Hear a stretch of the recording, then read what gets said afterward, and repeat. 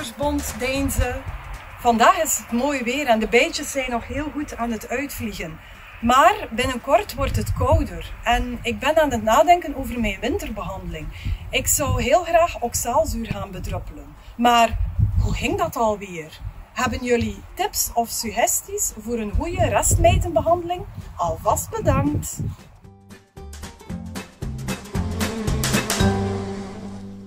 Ja, vandaag gaan we dus een restmijtenbestrijding houden ze.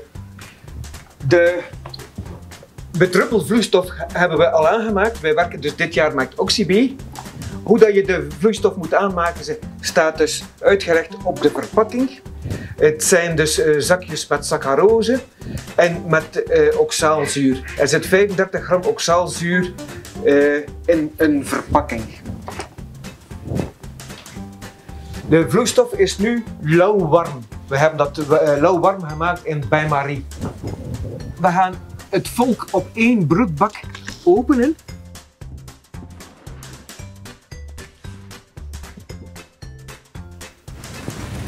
En we gaan de straatjes tellen. Je ziet dus duidelijk dat het tros zich hier bevindt. De twee kleine uiterste zijkantjes tellen we niet mee.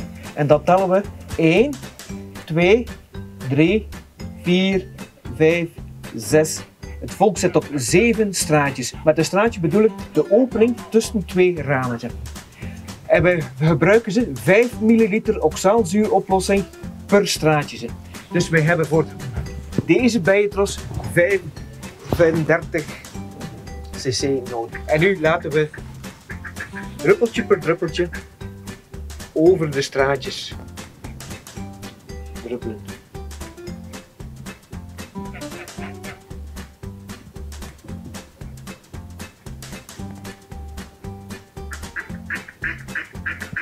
Het is duidelijk, het is een rustmijtenbestrijding.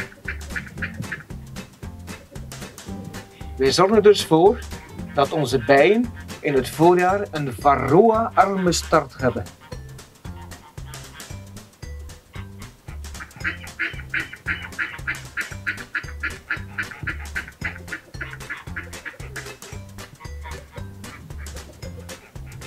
Het kort openen van de kast bij deze temperatuur, het is nu een buitentemperatuur van 7 graden, en de tros zit nog niet echt heel compact op elkaar, ze zit nog iets losser. Dat kan helemaal geen kwaad voor onze bijen. De behandeling duurt amper een tweetal minuten.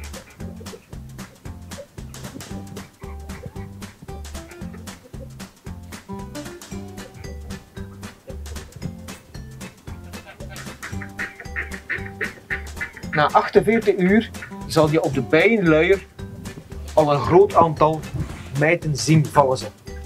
Het effect houdt nog een drietal weken aan. Ik ga nu de kast terug sluiten